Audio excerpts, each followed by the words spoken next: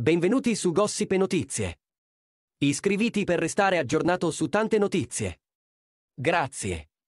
Amadeus e la moglie Giovanna Civitillo hanno festeggiato ieri, 12 luglio, l'anniversario di nozze. La coppia ha voluto festeggiare l'anniversario con i loro follower, condividendo su Instagram una foto in bianco e nero che li ritrae mentre si baciano. La didascalia del post condiviso recita: 15 anni di matrimonio. Oggi come allora. I due si sono conosciuti nel 2002 in Rai, quando Amadeus conduceva l'eredità e Giovanna faceva da ballerina e valletta. Inizialmente, lei era un po' restia all'idea di frequentare il presentatore, ma alla fine ha consentito. E i 15 anni di matrimonio dimostrano che ne è valsa la pena. Il 18 gennaio 2009 i due hanno dato alla luce loro figlio, José Alberto.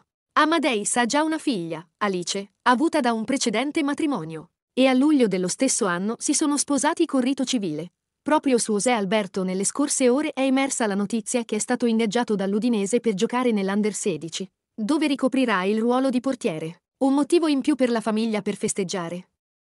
Grazie per l'ascolto e iscrivetevi al canale per essere aggiornati su tante notizie. Grazie.